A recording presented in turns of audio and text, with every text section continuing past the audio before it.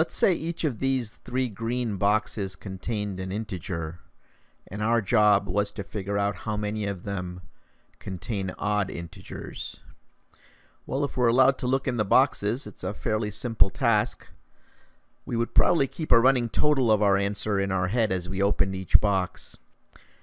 In this problem, I'm going to represent that running total with this variable name called odd count. Let's open the first box and we see that there's a 3. So I'm going to say that we've got one odd number so far. When we open the second box we see that it's got a 4 in it. So I don't change the count. So far we still only have one odd number that we've found. When I open the third box I see it's a 7 and I know that's odd. So I'm going to increase the odd count from 1 to 2. And that's our final answer. Now the question is, how would we solve a similar problem using code? Here's one potential strategy. We can look at the parameter, in this case a, in our method, and we can check to see if when we divide it by 2, if there's a remainder. And if it is, we identify the number as an odd number and return 1. If it's not, we say we haven't found any odd numbers and return a 0. What would happen with this strategy if we had two parameters instead of one? Let's have a look. Here's a similar method, but one that takes two parameters. We're looking with if statements here to see which ones are even and which ones are odd, and we've enumerated every single case. If they're both odd, we return a 2. If one of them is odd, we return a 1. Otherwise, we return a 0. Will this strategy continue to work as the number of parameters increases? Let's see what happens with three parameters. In this version of the method, we continue to deploy the same strategy, but with three parameters, you can see that we now have eight lines of code. Do you see the problem? As the number of parameters increases linearly, the number of lines of code increases by the parameter list squared. So for example, when we only had one parameter, we had one line of code.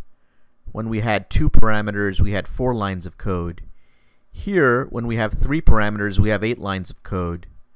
If we had four parameters, we'd have 16 lines.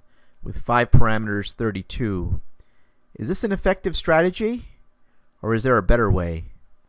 Let's go back to the strategy that we started with in this video, where we opened the boxes one at a time and only incremented our count when we found another odd number.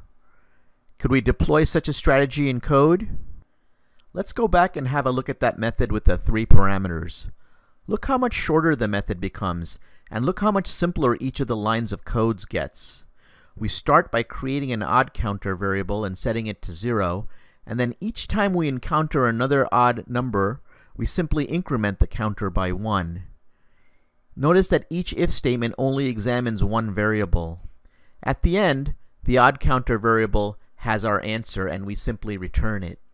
This strategy allows us to only add one line of code as we increase the parameter count by one.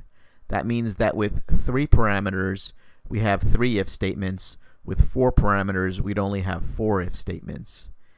Can you see that this strategy of counting is much better than using the complicated Boolean logic that we were showing before. This is known as the running total principle in computer science. On certain sets of problems where we're asked to count the occurrences of some phenomenon, in this case, for example, we were counting the incidences of odd numbers, it's often better to keep a running total than to use complex Boolean logic to enumerate through every possibility. Using the running total approach allows our code to scale much better. Now let's look at one final example to show how our algorithm of keeping a running total can scale for really big numbers.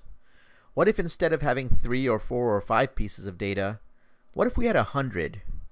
Look at this method, for example, that might have a hundred data elements stored inside of an array. Notice how we can use the exact same algorithm by first starting off by setting the odd counter to zero and then parsing through the list, in this case an array, and counting the odds before returning the answer.